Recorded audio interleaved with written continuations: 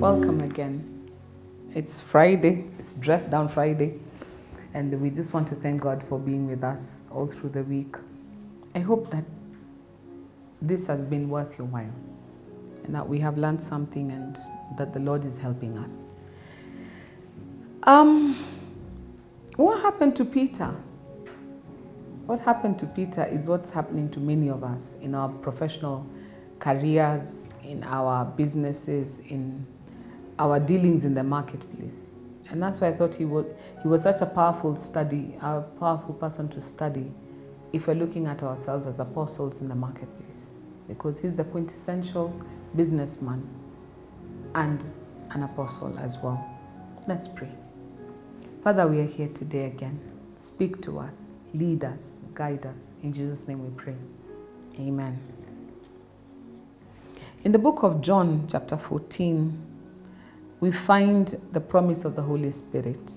From verse 16, it says, And I will pray to the Father, and he shall give you another comforter, that he may abide with you, even the Spirit of truth, whom the world cannot receive.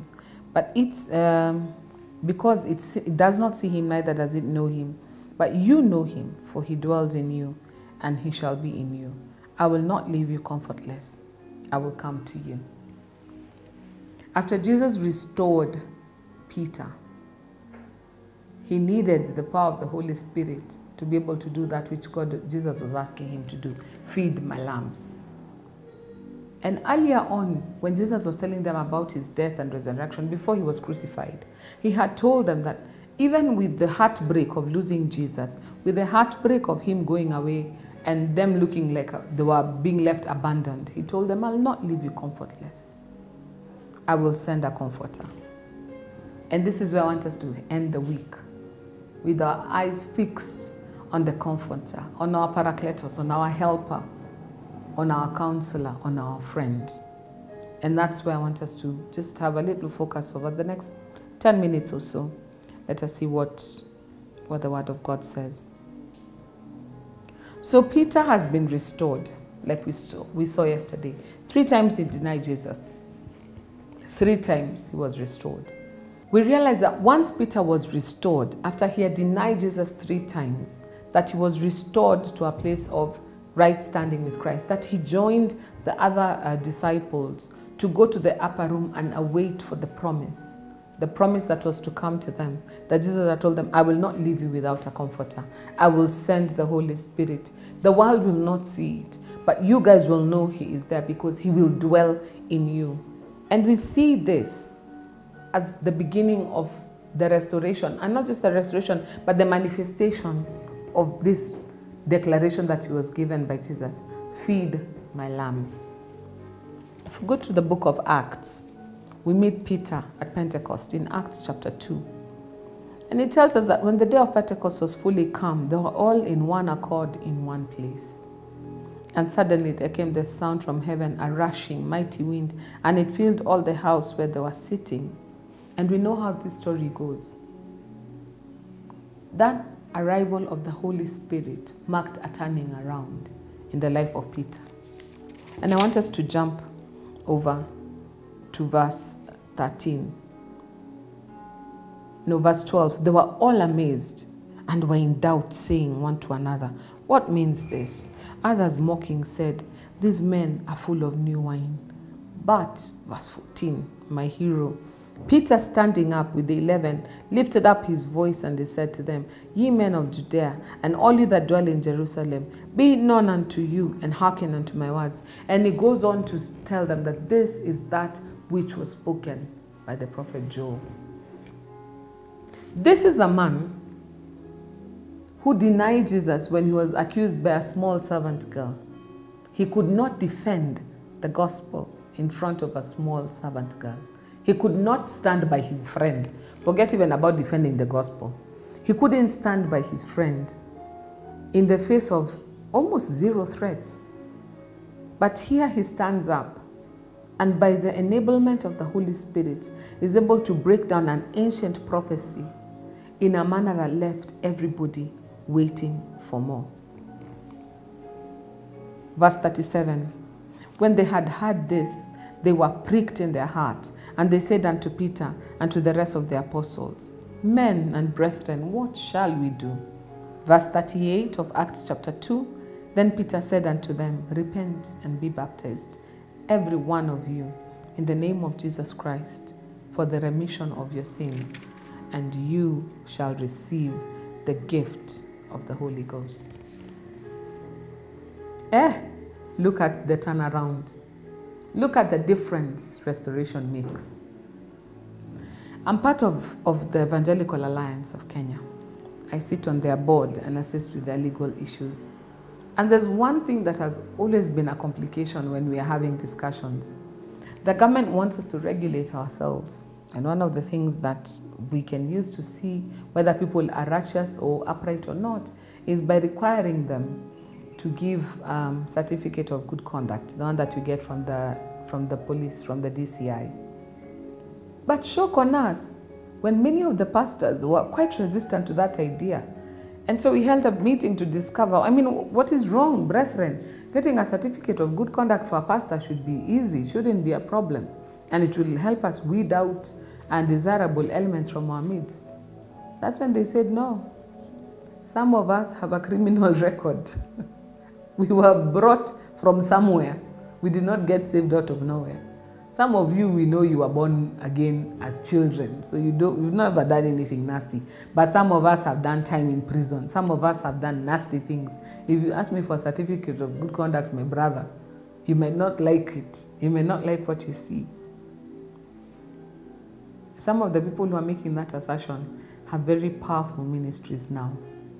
The turnaround. They are 180. What God did to them is something that He is now using for His glory. He took them from where they had fallen and made them trophies of grace. Yesterday, we prayed together with those of us who may be in a backslidden state. You were an apostle in the marketplace and you lost your way, and your faith ran away slowly from you like sand through the hourglass. And we ask the Lord to fill you again. And we ask the Lord to fill us again because we are all leaking. But guess what? For you to have the, the type of impact that will propel you from here to where God is calling you, you need the power of the Holy Spirit, the infilling of the Holy Spirit. Look at what Peter said. Very, it's, it's very interesting. He told them, verse 38, repent that's what we did yesterday. And be baptized, every one of you, in the name of the Father, Son, and the Holy Spirit. That's what we do with the baptism of John for the remission of sins. But the other thing he says is once you do this, you shall receive the gift of the Holy Ghost.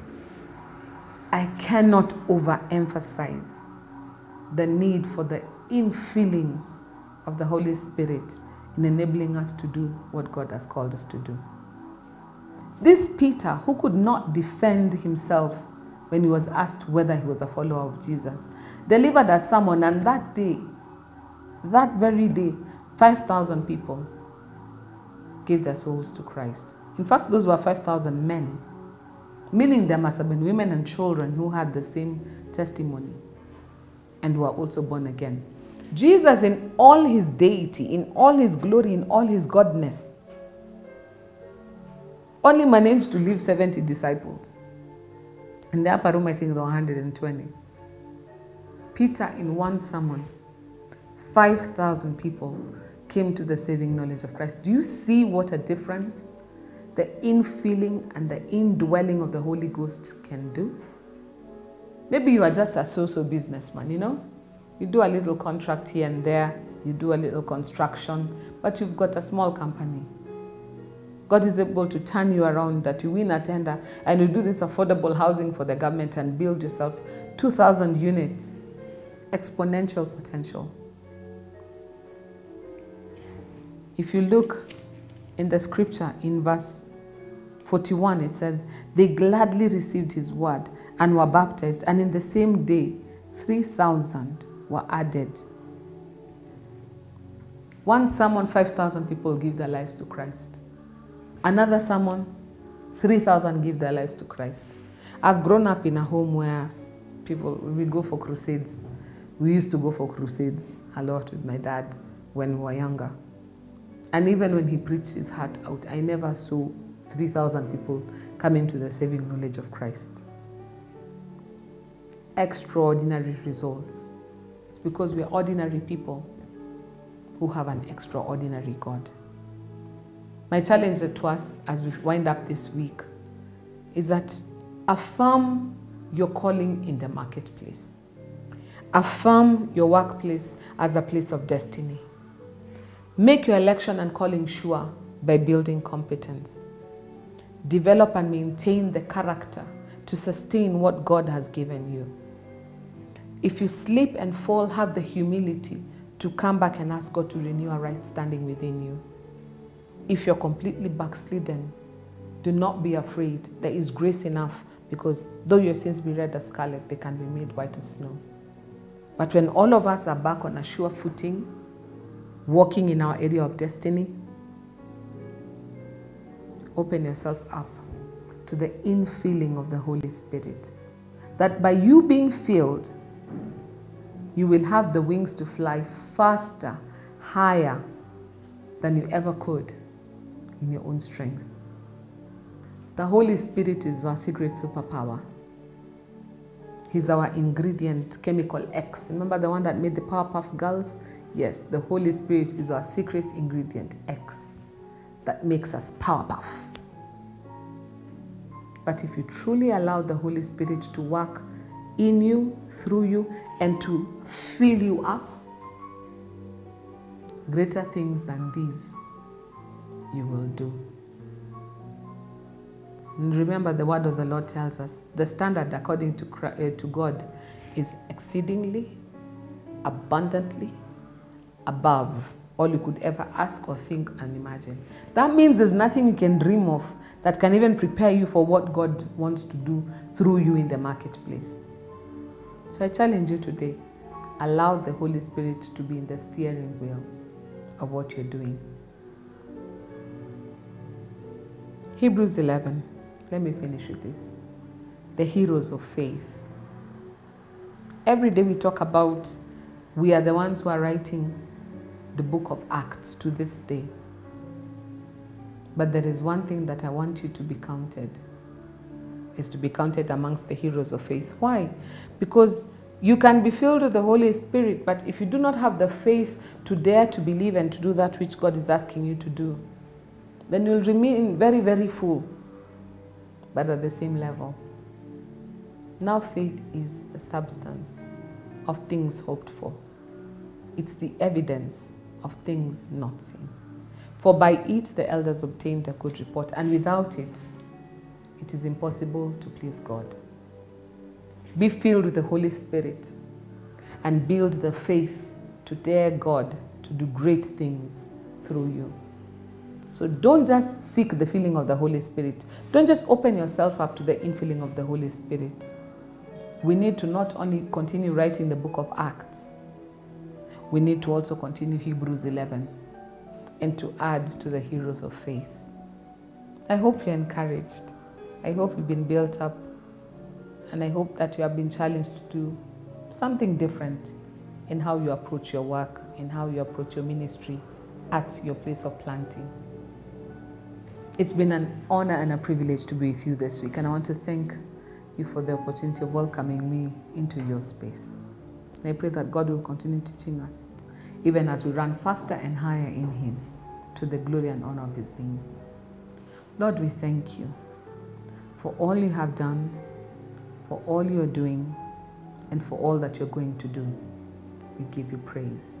In Jesus' name we pray. Amen and amen. God bless you.